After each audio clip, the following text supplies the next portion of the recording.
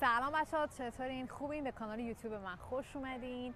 می‌خوایم در خصوص مهارت reading باتون یه صحبتی بکنم و توی ویدیوهای بعدی با هم بیشتر تمرین حل می‌کنیم. اما توی این ویدیو می‌خوام بهتون بیشتر استراتژی یاد بدم. اینکه باید چی کار بکنید راستش رو بخواین.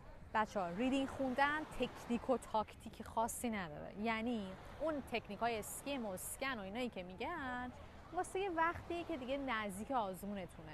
و بازم راستش رو بخواین تکنیک ها خیلی بهتون کمک نمی‌کنه. تا زمانی که شما خیلی قوی بشین تو این قسمت تا بتونید اون تکنیک ها رو اجرا کنید. اون اسکی موسکن به درد کیا می‌خوره؟ کسایی که ببینید عادت دارن به متن انگلیسی خوندن.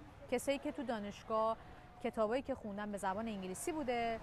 کسایی بوده که 10 سال 5 سال 6 سال انگلیسی کتاب زیاد خوندن. حالا میگه ببین برای اینکه ریدینگ تو مثلا تو زمان کوتاه تندتر جواب بدی نیاز نیست همه مثلا از اول تا آخرش مثلا چندین بار بخونی. ولی به این معنی نیستش که یه تیکه رو می‌تونی مس کنی. کلا آزمون یه جوریه که شما اصلا نمی‌تونید یه تیکه رو نخونید. همیشه باید اون تیکه رو بخونید.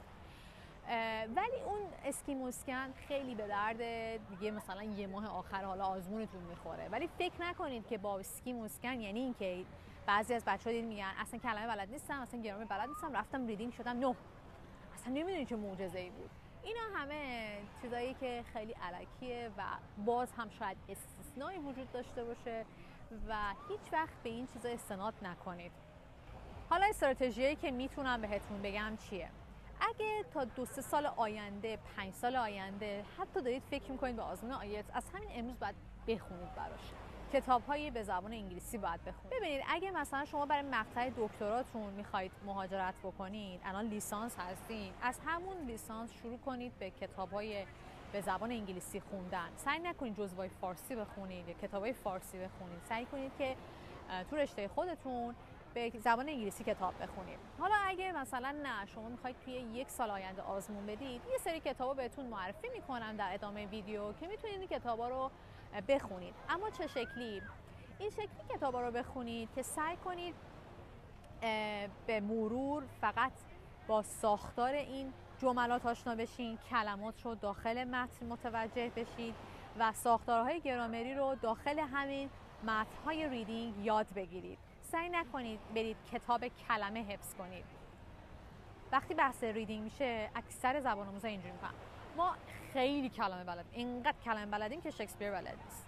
برای من بهتون میگم که ما بچه های ایرانی هر چقدر خیلی خفن باشیم باز از نظر کلمه ای خیلی ضعیف هستیم. به خاطر اینکه در کل ببینید خب مثلا یه نفر که 20 سالشه مثلا یک انگلیسی زبان که زبان مادرش انگلیسیه در طول مدرسه دانشگاه خیلی کلمات بیشتر و خیلی خیلی گنجینه لغات خیلی بیشتری از کسی که زبان دومشه داره. پس بنابراین اگه کتاب مثلا چهار کتاب لغت خوندیم فکر کنیم ما خیلی کلممون خوبه من همه کلمات رو حفظم اصلا به این فکر نکنید. برای ریدینگ حالا اگه شما می‌خواید به هفت بالاتر فکر می‌کنید خیلی بیشتر باید زمان بذارید و خیلی باید بیشتر متن بخونید. ولی حالا اگه مثلا به فکر پنج پنج و نیم هستید آره این تو شش ماه به دست میاد. ولی برای هفت به بالا خیلی باید بیشتر زمان بذارید. باید سعی کنید هر روز روزی شده یه پاراگراف دو.